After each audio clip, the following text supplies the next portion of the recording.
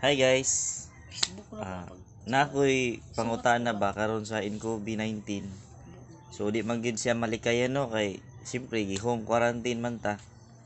Nya di gid ta pwede maglaag-laag bisag asa. Nara gid ta sa balay. Nya ako pangutana kung ang atong mga binuhi kay siyempre laagan man mas uwagan pa ba aning mga binuhi kumpara sa mga tao. Sa may nako akong kani ang ako iring Maram na ako binuhi sa balay. Ug mulaag ni siya, matakdan baka ni siya og virus. So kung natay mga iro, mulaag mo gina sila.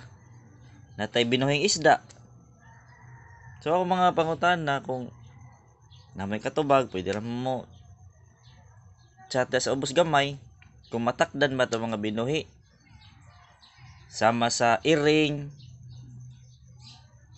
manok, iro, isda.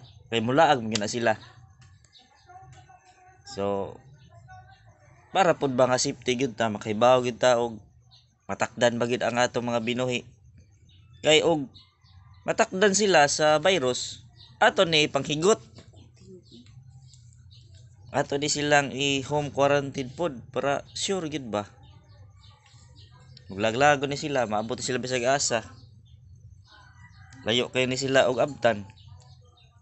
Silingan.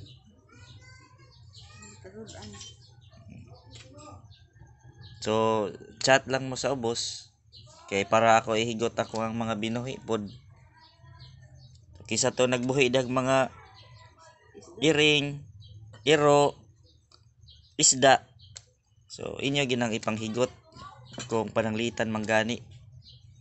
So, chat lang.